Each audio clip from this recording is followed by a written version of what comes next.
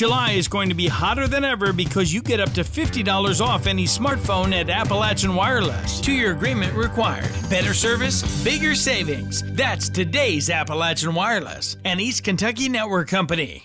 Sunday night, 11 minutes into the fireworks display in Inez in Martin County, one of the largest fireworks shells of the show exploded on the ground, injuring several firefighters.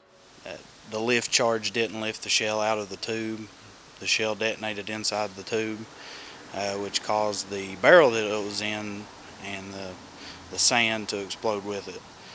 Although the spotter knew the shell never left the tube, all seven firefighters in the area knew something was wrong. I mean, these things, they make a sound, a certain sound when they come out of the tube. It, it just didn't sound right.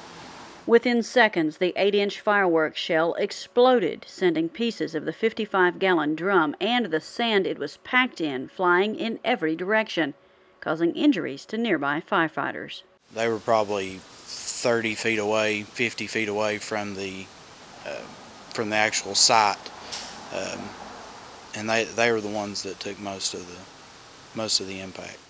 For the thousands of people who gather to watch fireworks shows, it's just entertainment.